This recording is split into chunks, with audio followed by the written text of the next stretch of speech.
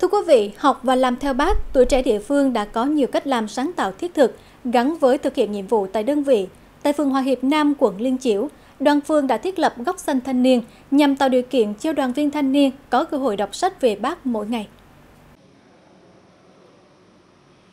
Tận dụng không gian trống dưới chân cầu thang khu vực tiền sảnh và tầng 3 tòa nhà Ủy ban Nhân dân phường, đoàn phường đã thiết kế thành hai không gian góc xanh thanh niên – chỉ trong vòng một tuần, qua bàn tay dọn dẹp trang trí của đoàn viên thanh niên, một góc thư giãn đọc sách đã được hình thành, tạo nên điểm nhấn ngay trước bộ phận một cửa của phường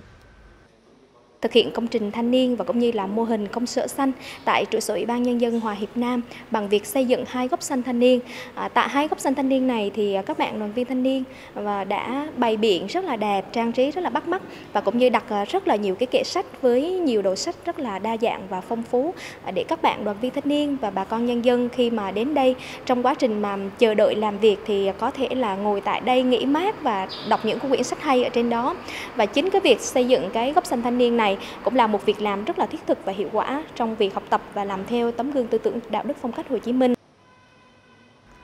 Tại góc xanh này, đoàn phường cũng trang bị hai kệ sách thanh niên, đảm bảo chất lượng và đa dạng các đầu sách về đảng, về bác, về đoàn, các tạp chí chuyên ngành, thời sự và nhiều lĩnh vực khác đáp ứng nhu cầu đa dạng của đoàn viên thanh niên và người dân. Qua góc xanh thanh niên thì em học được thêm những câu chuyện từ bác nhiều hơn và em sẽ áp dụng những câu chuyện từ bác đó vào thực tiễn sống. Theo quận đoàn Liên Chiểu, thời gian qua với việc phát động đọc và học làm theo tấm gương đạo đức phong cách Hồ Chí Minh,